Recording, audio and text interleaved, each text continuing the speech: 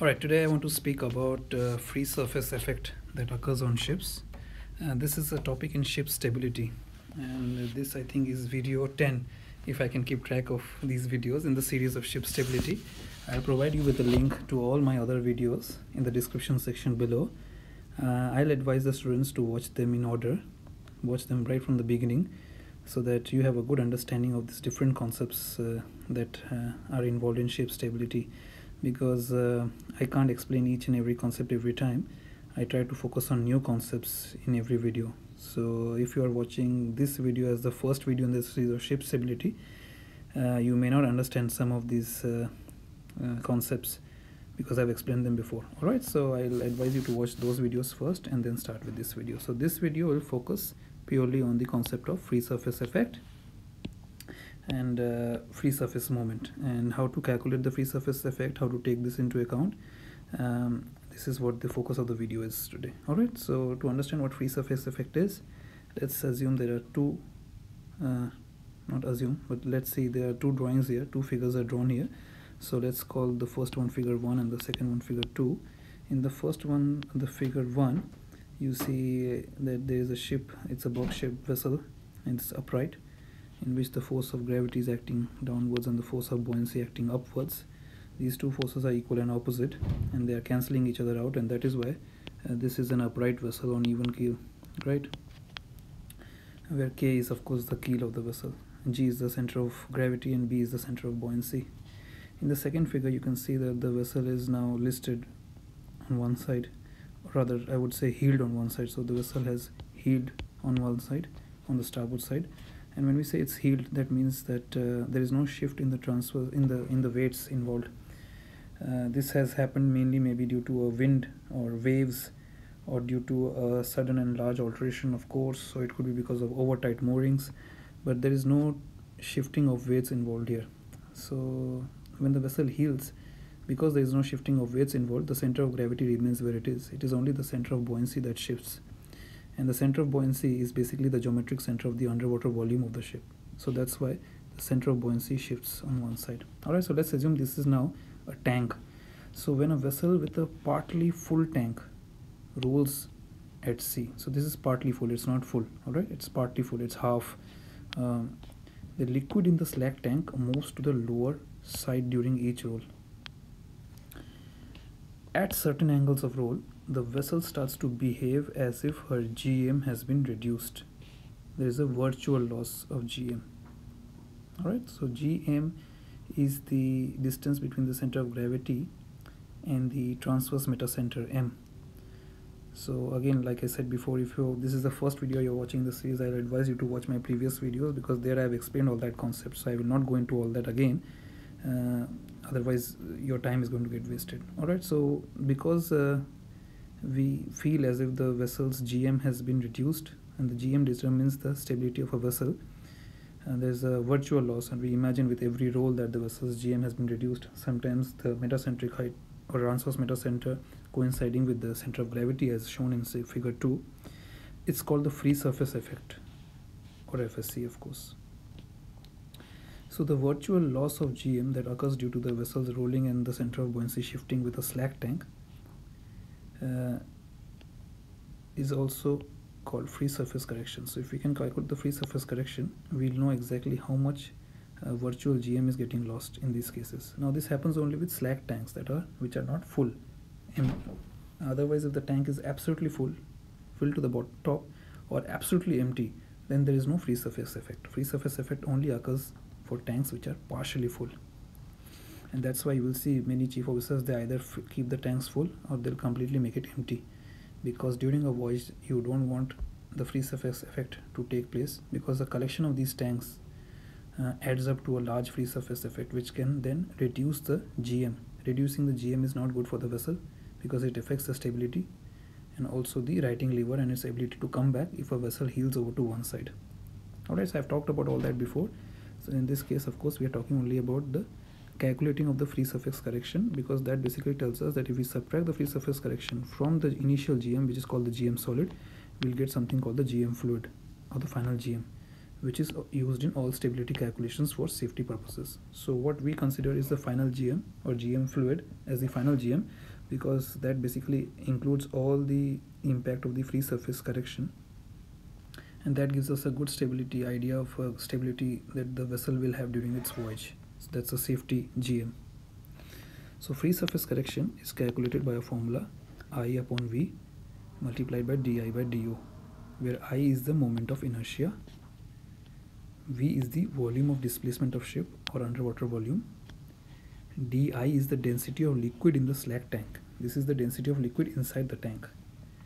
And do is the density of the water outside in which the ship is floating.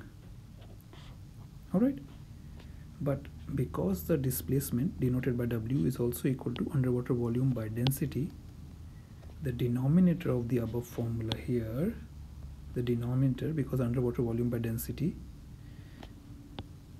so the denominator may be replaced by displacement itself. So free surface correction may be equal to i multiplied by di that is moment of inertia multiplied by volume of displacement of moment of inertia multiplied by density of liquid in slack tank divided by the vessel's overall displacement.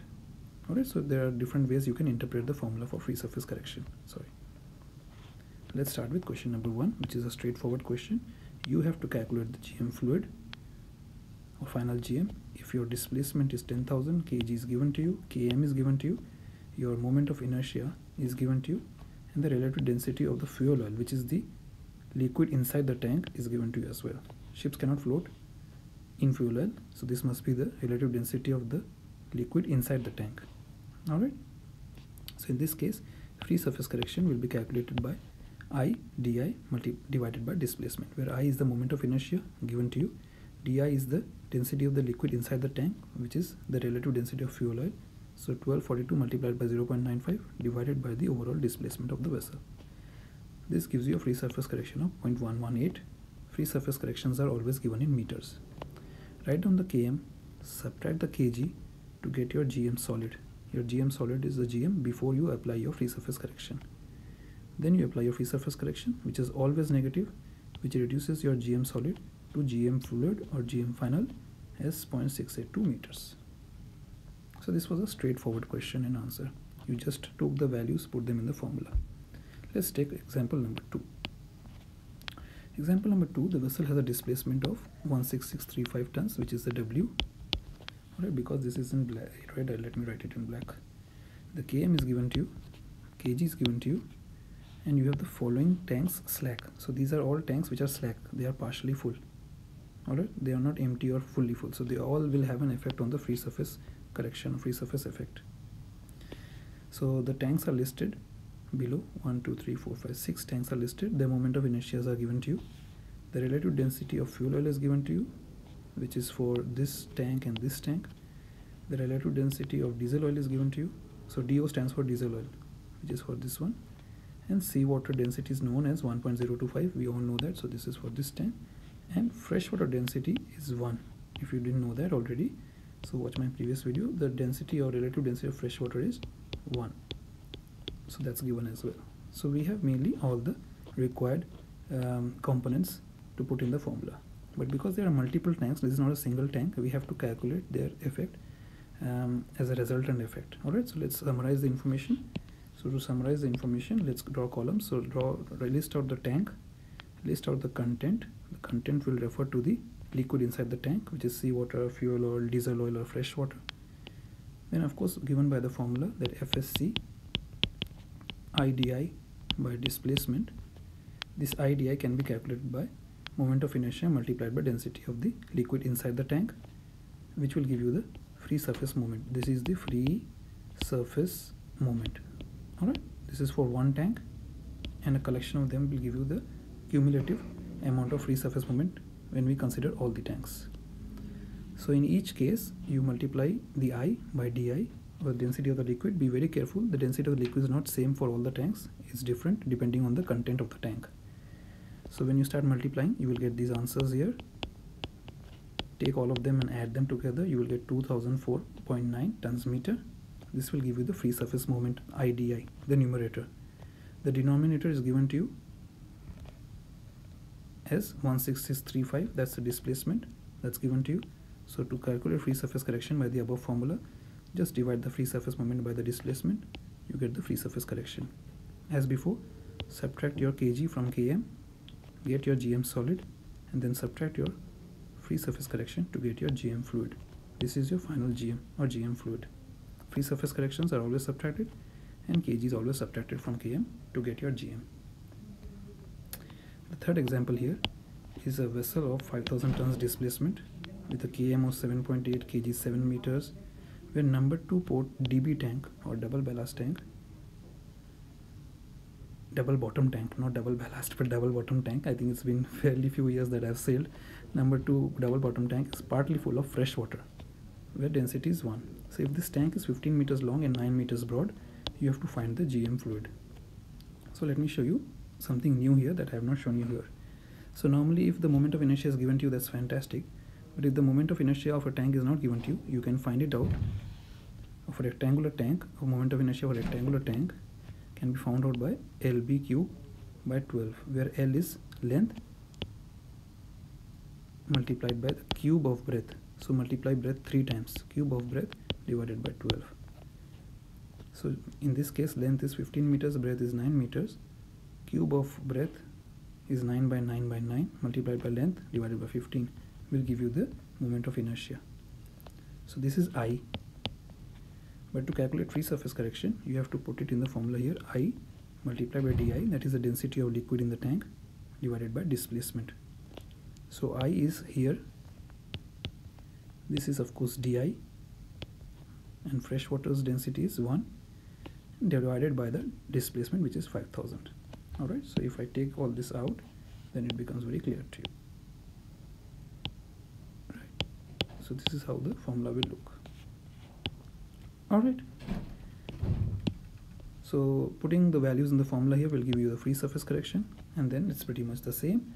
You will subtract kg from km get the gm solid subtract the free surface correction always subtract the free surface correction from gm solid you will get the gm fluid or the final gm. So i try to take three different examples here to show you how calculations involving the free surface effect and free surface moment are done uh, where the moment of inertia is given to you that's fantastic. If it's not you can find it out by the formula here.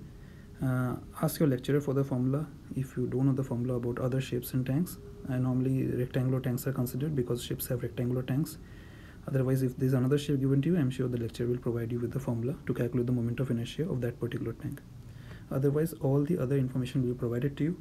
Like i've said before when you are doing any kind of numericals if you are required to find something write down the formula first and then start taking off what you have and uh, try to find out what you don't have from the information given to you.